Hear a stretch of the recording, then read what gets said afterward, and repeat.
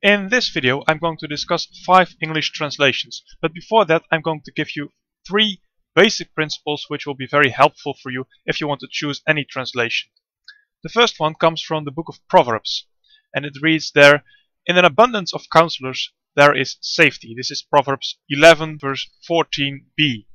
I'm taking this totally out of context, but I think I can apply this to the reading of Bible translations. And then it would mean something like, the more Bible translations you have, the better. This is what I would call the first rule of Bible reading. The second rule is this. There is no perfect translation. That is exactly why you need more translations so you can compare the translations and come to a better understanding of the text. Anyone who speaks more than one language would know that in translating a text from one language to another there is always something lost. Things like a nuance, a rhyme, a meter, a double meaning in a word, a keyword that is used over and over again and then all, all of a sudden turned on its head, a joke, a grammatical structure, or a name that has meaning. All of those things are extremely difficult to translate and often translations fail at them. An ancient saying about this problem is, who translates betrays, who does not translate deceives. And I think there is some wisdom in there as well. And then I come to my third and final rule.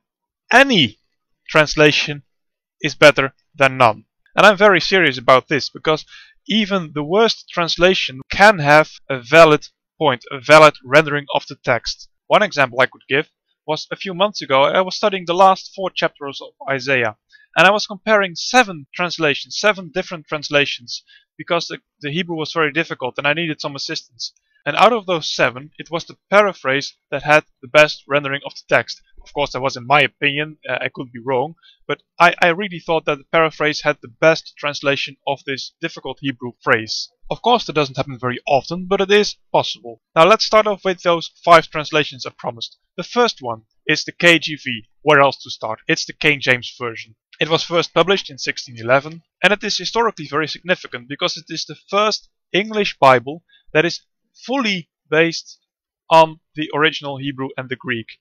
There have been partial translations before, there have been translations before that were partially based on the original text and partially on the Vulgate or uh, French and German translations, but this translation was the first one that was fully based on the original Hebrew, Aramaic and Greek. However, today you have to keep in mind that the KJV, despite its awesome quality, has outdated language. It is no longer modern English. It is archaic English.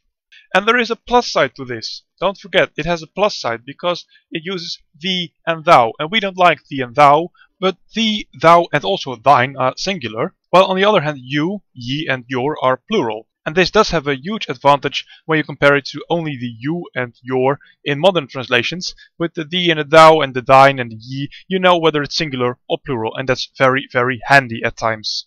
But there is also a downside to this, of course, because many of those words have lost their meaning, or they are still used today, but have a slightly different meaning, and this can be very, very tricky and can sometimes lead to gross misunderstanding. Another thing you should keep in mind when reading the KJV, especially the New Testament, is that the Greek manuscripts that are translated are from the Byzantine tradition or the TR, the Textus Receptus, that's Latin for the received texts, and these are from the so-called Byzantine tradition. There's also a last critical note I'd like to give on the KJV.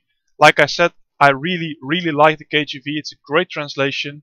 But over the last 400 years, there has been a lot of research in the in the Hebrew, in the Greek, and our understanding of the dynamics of those languages, the, uh, our understanding of specific words, has increased. Next up is the NKJV, the New King James Version. You might have guessed its name.